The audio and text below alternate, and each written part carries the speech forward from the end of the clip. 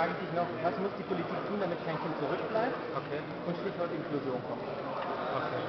Gut, und ich habe ja jetzt gerade mein Hochschulforum gehabt. Also wie werden Kinder in der Schule des 21. Jahrhunderts lernen? Also Kinder und Jugendliche werden im 21. Jahrhundert in guten Schulen ganz, ganz anders lernen müssen als heute.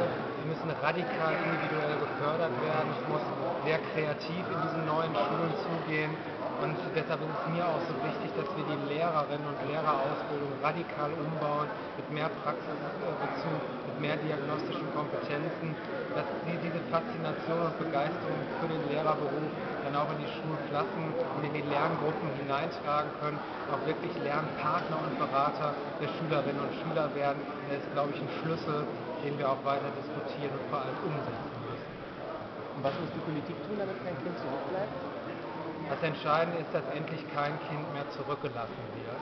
Unser Bildungssystem ist äh, so extrem sozial selektiv, dass man schon fast von einem Kastensystem sprechen kann.